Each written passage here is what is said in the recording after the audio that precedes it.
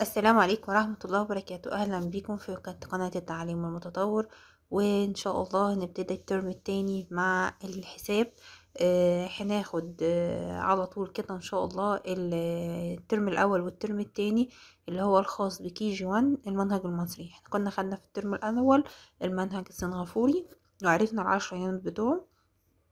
هناخد الترم الأول آه، في الحساب. والترم التاني وهيبقى الفيديو مدمج للغات والعربي لأن الكلام يعتبر مراجعات ومش هنحتاج إن إحنا نتكلم كتير. آه، الكتاب آه، اللي هنضيفه مع منهج الترم الأول والترم التاني اللي هو ال Lighthouse Math وده إن شاء الله يعني هنحاول أنا جبت المجموعة كلها إن شاء الله هنحاول نخليها تبقى معانا. آه، بت بتعرض الحساب بطريقة جميلة برضو. بس مش هناخده غير لما نخلص المنهج بالتفصيل شرح لأن هو يعتبر أمثلة اللي هي أنشطة اكتيفيتي فمش هنبدأ ندخل فيها قوي غير لما ناخد شرح بالتفصيل للموضوع اللي إحنا بنتكلم عليه أو للترم مثلا. زي ما عملنا في الترم الأول ونبدأ ناخد الجديد بتاعه أو ناخد ال activity بتاعته في الكتاب. تعالوا نبدأ على طول بالنسبة للمنهج آه، المصري. آه، أول حاجة بيتكلم عليها في المنهج اللي هو أو ال calendar أو التقويم.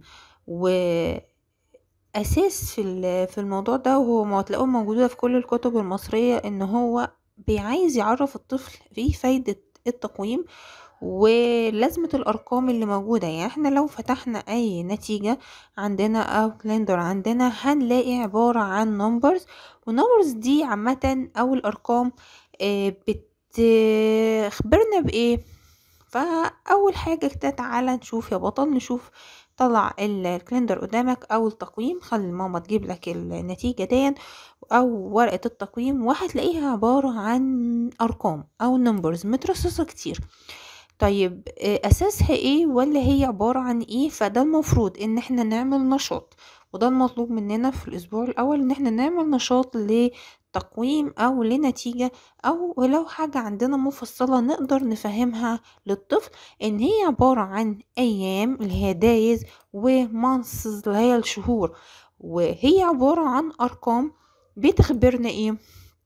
بتخبرنا إحنا عايشين أيام قد إيه آه، المواعيد المهمة في حياتنا أعياد الميلاد آه، محتاج تروح آه، آه، مكان معين في وقت معين في, وقت آه، لازم تحدده تبقى عارف اليوم الفلاني في الشهر الفلاني في الأسبوع لازم تبقى عارف من النتيجة دي الأسابيع والأيام والشهور.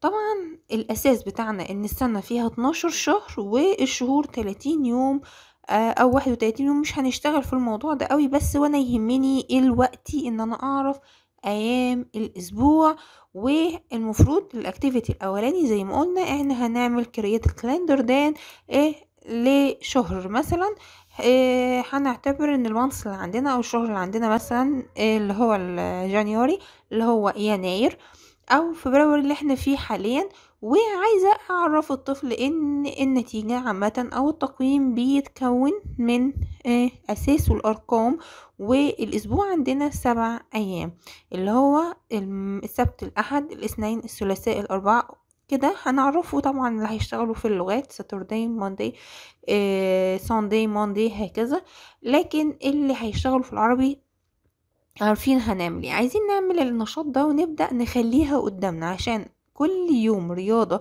هنشتغل فيه عايزين الطفل يقول له ها النهاردة يوم إيه؟ عايزاه يطلع من ال- ال calendar ده أو النتيجة إيه اللي هو اليوم اللي إحنا عايشينه عشان يحفظ الأسبوع ويحفظ أنت إزاي بتطلع اليوم عن طريق الخط الأفقي مع الخط الرأسي. ده مفيد جدا. معنى كده إن إحنا كل يوم لما هنشتغل رياضة هنطلع ال activity دي تبقى معانا عشان كده بقول محتاجينها جدا أو محتاجين إن إحنا نوفر آه، تقويم يبقى قدام الطفل علشان يشتغل عليه. آه، ال- النشاط بتاعنا إن أنا بقول كل قعدة ما نيجي نقعد مع بعض النهارده يوم إيه مثلا؟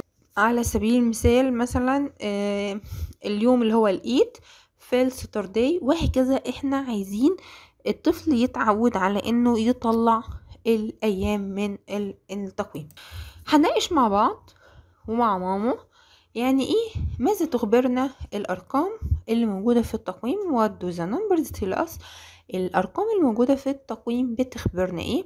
وعايزاك يا بطل تعمل لي مثال tell me an example على الكالندر اللي عندك دين وتطلع لي منها مثال في ال- النهارده مثلا ماما تجيب لك النتيجة اللي أنتوا عملتوها أو التقويم اللي أنتوا عملتوه وتبدأ تطلع لي كل يوم النهارده اللي اشتغلنا فيه. طبعا ده عايزاه ثوابت بداية كل شغل في الرياضة يعني أول ما تبدأ كده إحنا النهاردة اليوم إيه فهنجيب ال- ال- التقويم نبدأ نطلع. آه لو لاحظتوا إن قبل كده في pattern موجود في ال- ال calendar دي أو زي ما قلنا في نمط. إيه هو؟ إن أنت عندك الأسبوع قلنا سبع أيام بيعملوا إيه؟ repeat أو تكرار كل سبعة. يعني أنت بتكرر أيام الأسبوع دي كل سبع مرات لأن الشهر فيه أكتر من أسبوع فأنت بتكرر الأسبوع أكتر من مرة فده ال pattern اللي ظهر عندنا. مفروض إن إحنا نعرف آه الأيام الأسبوع ونعرف الأسئلة دي نناقشها مع بعضنا. وتعالوا نشوف الكتاب اللي هو ال Lighthouse Math ده اللي أنا بتكلم عنه وده أول level معانا. وبيعتبر هو بيعمل revision على الشغل اللي إحنا اشتغلناه الترم الأول. عشان كده بقول ما ينفعش حد يبدأ يخش على طول معانا على الترم التاني علشان إحنا بنبني على القديم. طيب فأول حاجة موجودة في الكتاب إن هو بيعمل مراجعة على الألوان الأولية أو ال principal colors اللي هي الأساسية يعني. آه بيقول إن في عندنا آه basic آه colors ودي المفروض الطفل يعرفها اللي هي المفروض ألوان ما ينفعش نطلعها من لون تاني يعني هي أساسية موجودة كده لوحدها. خلاص؟ والمفروض نعمل أمثلة عليها وإحنا خدنا الموضوع ده باستفاضة في ال Discover أو اكتشف وكمان في السنغافوري طيب بعد كده يتكلم على الألوان الثانوية واللي هي ال secondary colors وبيتكلم برضو إن أنت تعرف تعرف طفل إزاي بين بندمجهم مع بعض؟ على فكرة في KG 2 بيبدا بعد كده بيعرفوا اللونين لما يتحطوا على بعض بيطلعوا إيه. لو عندنا الفكرة إن إحنا نقدر نشتغل بيها مع الطفل نقول مثلا نجيب ألوان ونبدأ نلون الريد مع اليالو نحمة زي ما إحنا عارفين اللي هو بيطلع الأورنج اللي هي أقرب الألوان اللي أنت ممكن تقدر تطلعها أو آه تستنتجها من التجارب وأنت معاه في البيت. بعد كده بيتكلم عن الأشكال الهندسية اللي هي ال shapes المعروفة اللي هم الأساسية وياما اتكلمنا عنهم في السنغافوري وياما اشتغلنا فيهم ودورنا عليهم حوالينا في الاكتشف فده كمان بيراجع عنه عنده واخر حاجة بيتكلم عنها النمط أو ال pattern بأنواعه برضو كنا خدناه في سنغافوري وقلنا إن أنواعه اي بي واي بي سي وال AAB بي فاكرين والاي اي بي فاكرين الحاجات اللي إحنا كنا أخدناها ديت يا ريت نراجع عليها وده يبقى بداية إن شاء الله الترم التاني مع بعض.